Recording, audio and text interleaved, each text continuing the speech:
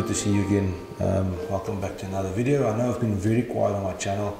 I've just been very busy last couple of weeks and months and I'm definitely going to start putting in a concerted effort to make more videos for you guys. But uh, today I'm going to quickly chat about this little guy I've got here.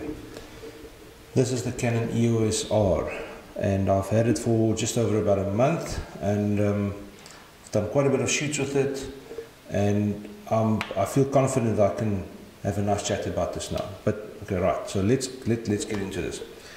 I'm not going to be talking about any of the specs. There is one million videos on YouTube about the specs of it, the pros and the cons, and and all those kind of things that that everybody talks about. And there's people that had it before it was released. So those videos has been out for four or five months already on YouTube, and and from I promise you, I have watched all of them in my decision to what I'm going to be buying um, as my new camera. Right, so let's quickly have a look at what I like and what I don't like about the camera. Um, yeah, like I said, not going to be going into, into the specs. Right, so let's quickly. The fit of the camera in your hand is fantastic. It, it is hardly any difference between this and my Canon 6D, which I've been used to for the last five years or six years that I've been shooting with it. So, with regards to that, it, it, it fits in perfectly. The 6D is a little bit, a little bit more bulkier around the around the grip area, but that's fine because the body is bigger because it's got the mirror in. The, the next thing is the adapter. Everybody's spoken about the adapter.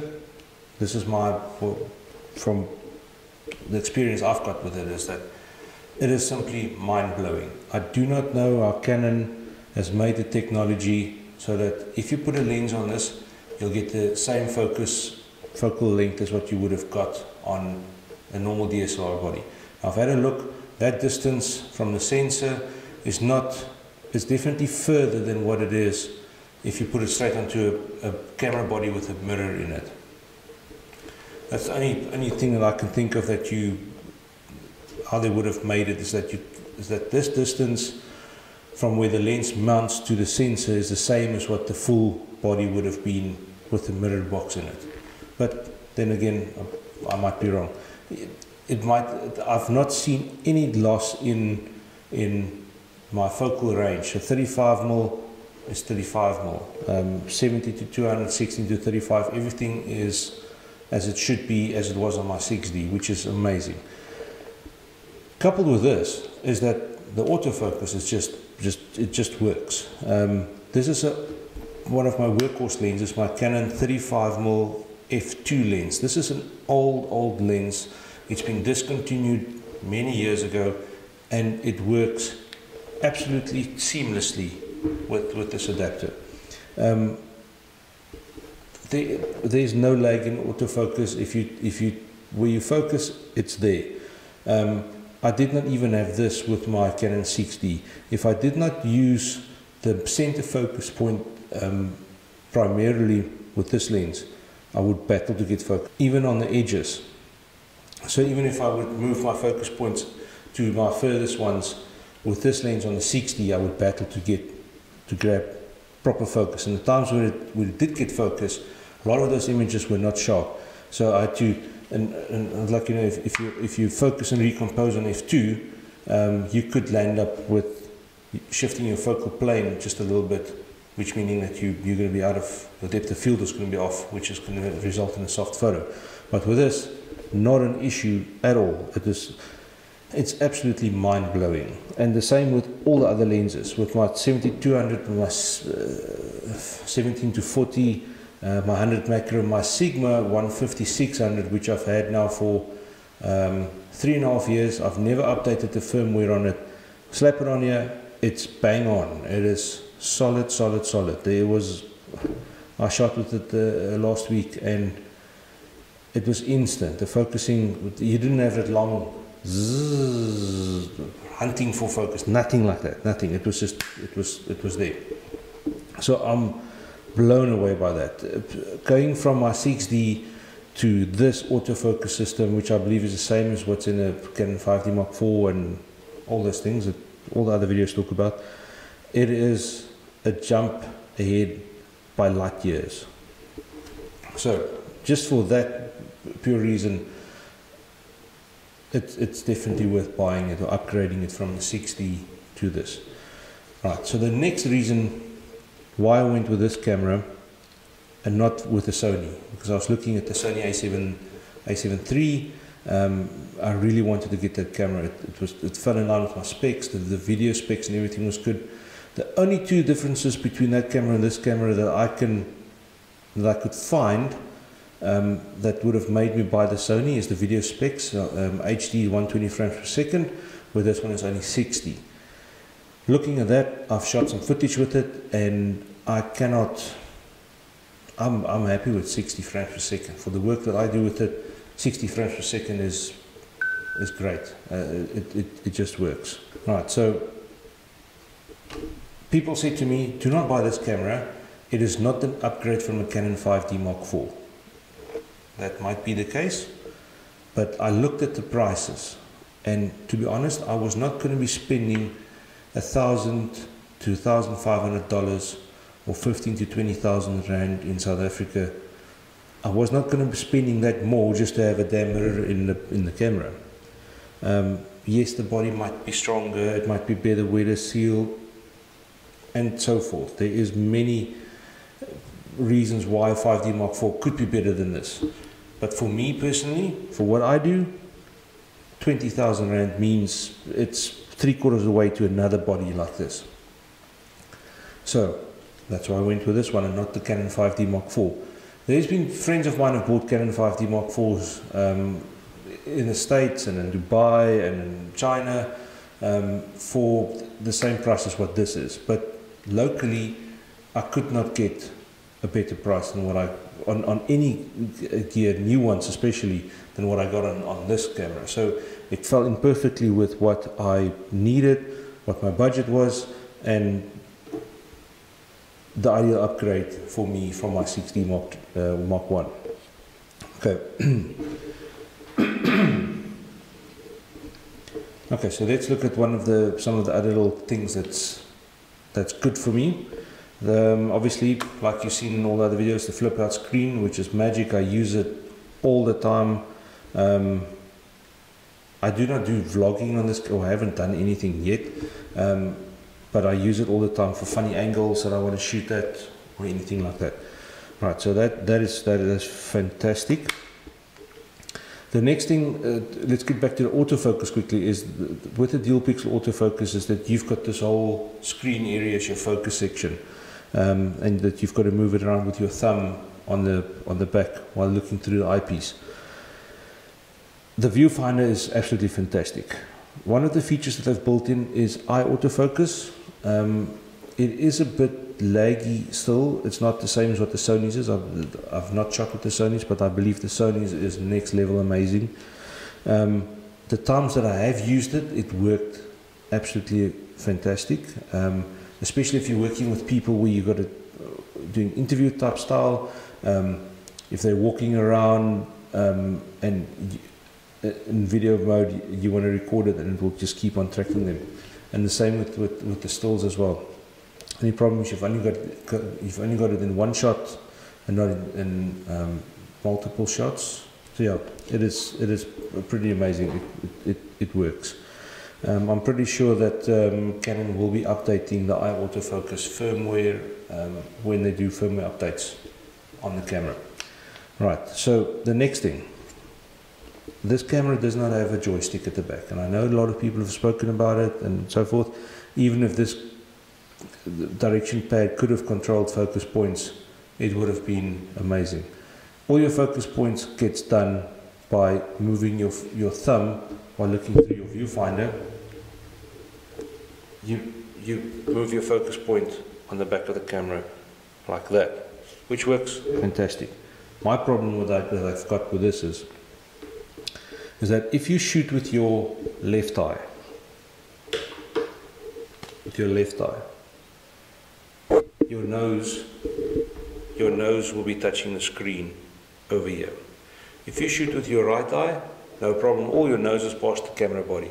If you shoot in portrait mode with your left eye, And I like to shoot with my I like to shoot with my arms close to my body because it gives me more stability. I can hold the camera st- uh, more steady um, with slower shutter speeds. So if I shoot like this with my left eye, it's all fine. I can I can my nose is past here. But if I shoot with my right eye like I'm used to, my nose touches the screen over there, which results in if you've set your focus point to a certain area on the, on the camera or in your, in your viewfinder, as soon as you touch it with your nose, it will jump there immediately. And if you have not locked your focus yet, your focus will be off. Now, this is this is important for when you're shooting um, action type stuff, where you've got subjects moving, um, and you quickly want to go from shooting on uh, uh, landscape mode to portrait mode.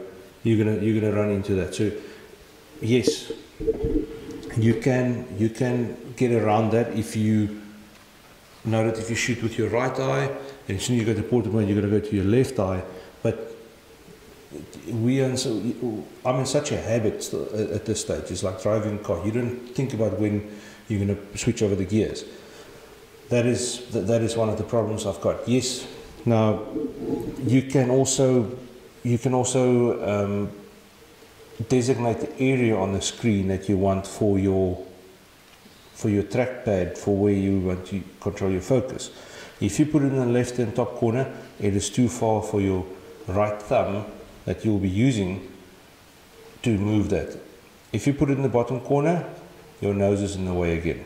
It just that I would have loved to have had the option where I could switch off the screen and use a, a controller thumbstick direction pad um, to move around my focus point. Okay, the next thing that was bothering, bothering me when I was um, just when just before I got the camera, I started thinking about this, and and then um, one of the guys at Canon told me what to do, and he also had to go look for it because none of the videos that, that I've watched mention this.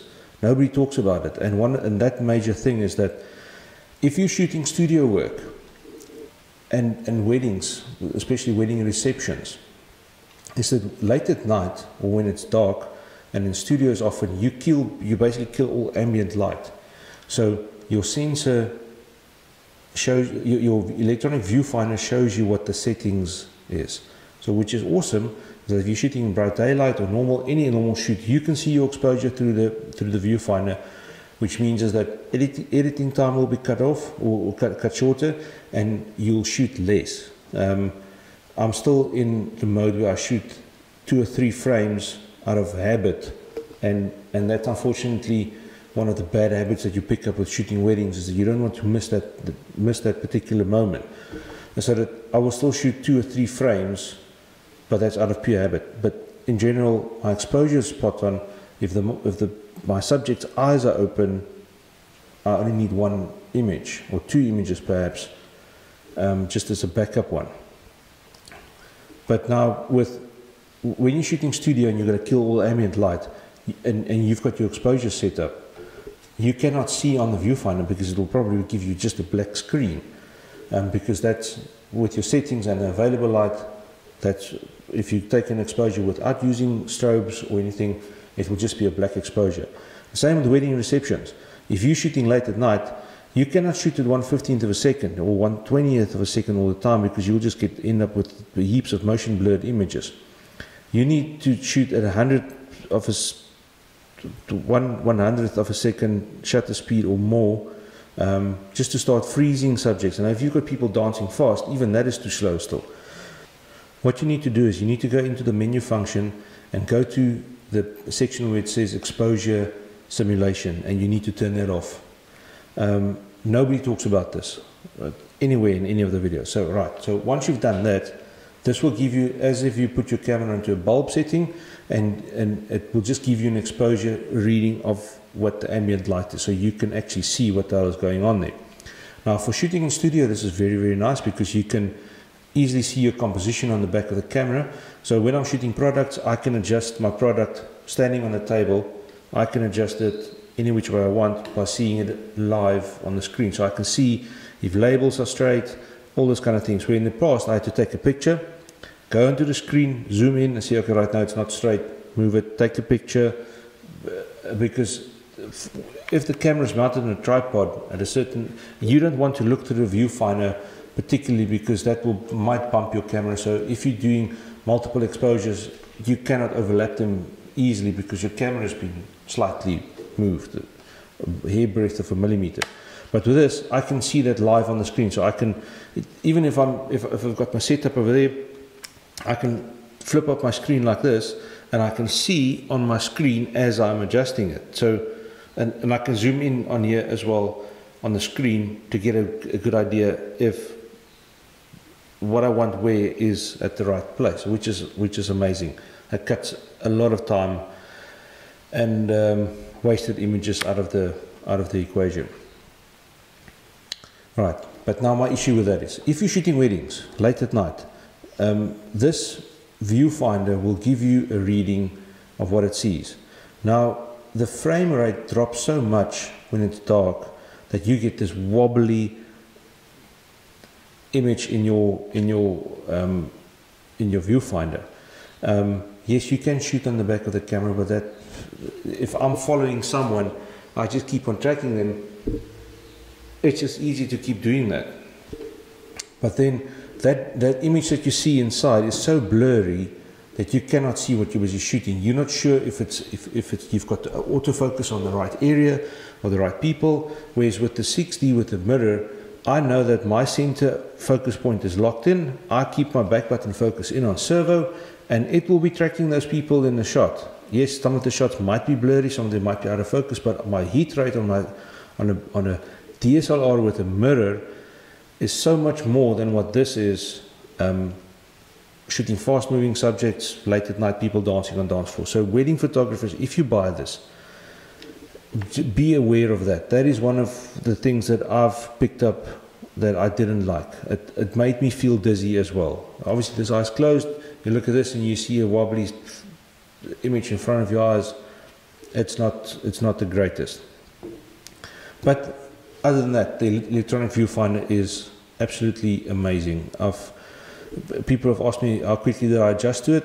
It was instantly. It was like shooting live view. Um, all right, so that is my issue with that. Late at nights, studio work it's fine because you can use the back of the screen, but uh, but if you're shooting uh, documentary type stuff late at night stills, you are going to um, battle a little bit with that. So a con, for me. That's one of the only things. Um, button layouts. The little slide bar at the back for your ISO and skipping through images is okay. Um, I've looked, it takes about the same amount of time to set your ISO on this as it would have been on, on a normal camera where you had an ISO button, press it, dial in, take a shot to see if the ISO is right because you can look through, but the, the exposure meter might not be where you want it to be. Um, it, it might show you overexposed on, the, on, on your exposure meter, but it's not actually overexposed. It might be just where the camera's reading or whatever the story is. So with this, you can see the, the image change at the back or in your viewfinder as you adjust the exposure. So you can keep your, your, your same shutter speed settings and you can adjust your ISO and you can see exactly what the effect will be on the image, which is, which is amazing. Again, cutting down shooting time. So with that, I, I do not have it switched on all the time because you do bump this and it, I, I had it my the wedding shoot, the wedding I had, I shot when I had the camera for three days. I had it on, and I was busy shooting bridal portraits, and I had a look at the things, and, and I and I saw I'm on ISO 5000 already, which I only needed 800. So I, I put the lock back on. You literally need to hold it for a second and a half or two seconds, and it switches on, and then you adjust your your ISO, and it switches off again. So which is which is great. Um, the one thing I still need to get a little bit used to is because you've got the function button at the top here to adjust your modes. So I need you, you press that and then you scroll through whatever. So you don't have the, the mode dial button on the top anymore. I need to get a little bit uh, used to that, not a train smash. Um, video doesn't have a dedicated video switch. You need to assign that. Um, and it, it was, I can't even remember what it was. Um, I think it was the function button or one of these and the info. As soon as you press that, it went into video mode with all the video settings in the menu and all those things. I assigned it so that my little star button at the top, I press that and my info and it goes to goes into video because I can do that while my eyes my eyes up to the viewfinder. I don't have to go and look for which damn button I need to press to to do that. Um, so that was easier. And then same thing again, press it again, and it goes back into stills. So so that's that's it. The, the, the, the system just works flawlessly. Um, video quality out of this is, is amazing. Um, image quality out of this is, is amazing. Um, can't really. It, it's a great picture that comes out of it. I, I didn't. I haven't, I haven't done any astro images with it. Um, I haven't really done major pixel peeping or compared ISOs between this and the 6D. I know that the images I got out of this was great. They worked. File sizes is big. My Mac is old, so it struggles a bit with the file sizes, and especially you start shooting panos and start stitching them up. Yeah, those things um, battle a little bit. Um, one of the th settings inside that I use all the time on my 6D and all my other DSLRs that I've had is that you could have changed the, the resolution of your RAW files. You had a full resolution RAW, you had a medium RAW, and a small RAW. Um, I use that all the time, especially if I shot time lapses. I would have used a small RAW because you can still export the resolution at 4K resolution time lapse from that small raw image. So, which means you could shoot a lot more, editing is quicker, all that. The same at weddings, all my reception stuff, the church things, basically all images that would never have been printed bigger than an A4, I would have shot in medium raw. Then, as soon as you go to bridal portraits and, and the bridal couple getting ready and all that, I would have switched it to full raw because those are the images that couples would likely be putting up as A0 prints or whatever on their walls. Um, so those I shot at maximum resolution. Um, all the other ones was at medium raw, save um, space on my cards um, and also editing time. With this, I've got full raw and compressed raw, all still 30 megapixel files. Um, I've not looked at the size difference really between the two, but um, uh, it's not significant. I would have liked to, because the other one was dumbing it down from, uh, on the Canon from 21 megapixels to 12 to 6. Um, that, that made more sense to me than having a 30, 30, 30 megapixel image just with less info. If you dumbed it down to 12 megapixels, it would just, it, just, it was just better for me. But right, so pros and cons, that's about it. I cannot find much fault with this camera. It is, it works amazing. It, um, everything just works. My flashes work, my triggers work, my heap of batteries I already had from my old cameras. They fit, they work seamlessly, the whole bang shoot. Um, on a subject of batteries, the batteries do not last as long as a DSLR. Um, for the wedding I shot, I went through about um, two and a half batteries on this. Well, I would normally have shot um, a full wedding, and that, that was shooting with two bodies. Uh, on, on, a normal wedding, I would have used one battery in each body, and they would still have had 50% or more power on at the end of a wedding. So this one charges a lot of battery, and it's understandable. It's a screen that's running, it's a screen that's running. So as soon as you take it away from your eye, the screen goes on. It will, it will use a lot more battery than what a DSLR uh, would have used. So other than that, it fits in perfectly with the way I shoot menu systems, the whole bang shoot, everything that everybody has been talking about in the videos is there. Now, something that is interesting is that according to the rumor site, today is the 12th of February 2019. On the 14th of Valentine's Day, um, it is rumored that Canon will be releasing the new RP, and from the specs that I've seen on the internet, um, is that they're looking at a 24 megapixel or 26 megapixel sensor. Um, same autofocus system. Apparently, it will shoot 4K. I'm not sure. A couple of things here and there with the um, video, but they didn't give a lot of video specs. But if the layout is, and, and doesn't have the slide bar at the back, which is okay. If if you can get the adapter with the ring, which I probably will get later on, that will even make it even easier. Um, but I'm curious to see how that one will be performing alongside this. Now that the haters already said, now it's a 6D Mark II sensor and all that mumbo jumbo. I don't care. It, your best camera is the one you've got in your hand. You do, your clients do not go pixel peeping. They, they simply do not. Um, so if you ever wondered about that and you do not want to spend all the money to switch over from a Canon system to a Sony, this is a fantastic camera. It, it will definitely complement your setup that you've got and everything will work. You don't have to buy new flashes, new batteries, new chargers, new freaking everything. Everything is here. So, all right, so I'm, I'm curious to see what the EOS RP will be doing. Um, price wise, I think it's going to be very well priced. They're talking about sub one uh, sub fifteen hundred dollars, which is an amazing price. Uh, literally, uh, if if that's the case, I would look at selling my backup 62 body or my 61 body, and buy one of those because it will just. If you've got two mirrorless bodies, it will just work nicely together.